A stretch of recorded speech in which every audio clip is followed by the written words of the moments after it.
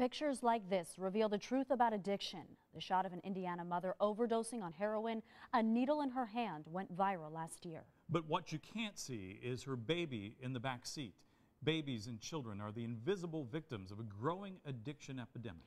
New at 10 tonight, WSBT 22's Jesse Schultz reports there are a lot of children in our area who are suffering. Suffering because their parents can't take care of them. They're addicted. That addiction leaves these children in the system, a system that is now overrun with too many kids and not enough foster parents to take care of them. Kids abandoned by addicts. That's a princess and that's Innocence is naturally instilled in children, but it's delicate. One moment, one mistake, one relapse can shatter it. For many kids in our area, instead of thinking about, well, kid things, Mommy, I want to play a puzzle. they're thinking about whether their parents will stay clean tonight. That's a good girl. That's a good dog. Right now, Bella is Joel and Jamie Irwin's only kid. But just a few months ago, Bella had two sisters. For a year, the Irwins were foster parents to two little girls in Elkhart County. full of energy, um, uh, creative, uh, kept me on my toes, I know. Um, strong willed, very strong willed. The girl's mom addicted to methamphetamine, unable to take care of them. The mother had had, you know, drug problems, pretty serious drug problems. The girls are just a small part of a bigger picture. In the past four years, Indiana's DCS cases have significantly increased. From September of 2014 until now, almost 10,000 more children entered the system. In 2013, 31% of all the DCS cases involved addiction. This year, it's almost 60%.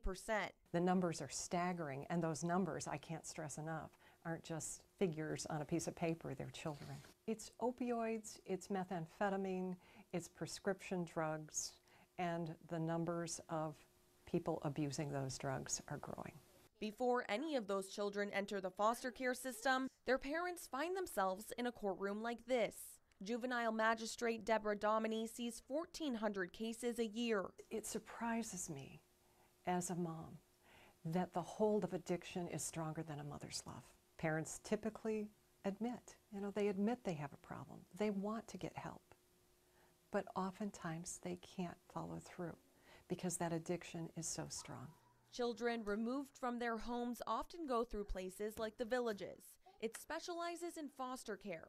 Leaders say watching a child hope their parents will get better is one of the hardest parts of the job. Let's say we have a five year old child that's expecting mom to show up on Saturday afternoon at 2 o'clock and they're very excited, and mom might have relapsed the night before, and so she's a no show. Jamie and Joel witnessed firsthand the toll addiction takes on these kids.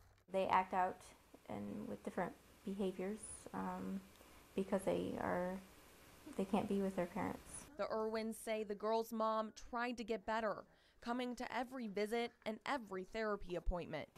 It's hard because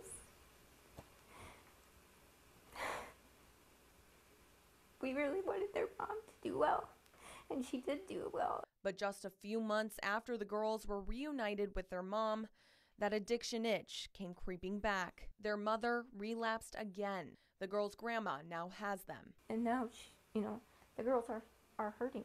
You know, their their grandma is taking care of them really well, the best she can, and um, but it's, they still don't have a mom, and all they want is a mom. That's all they want. The clock is ticking when you're dealing with children. They can't wait forever while parents fight an addiction. She she does love them. It's just right now she's in a she's in a dark place. And so are the girls, living without a vital piece of their puzzle. Just like so many other kids in our area, abandoned by addicts, struggling to understand why their parents can't get clean for them. Jamie and Joel are still in contact with the girls. They visit almost every month. And any day now, they're expected to get another foster kid. But there's still a need for foster families in our area, and that need is constantly growing. To see how you can become one, log on to WSBT.com and click on this story.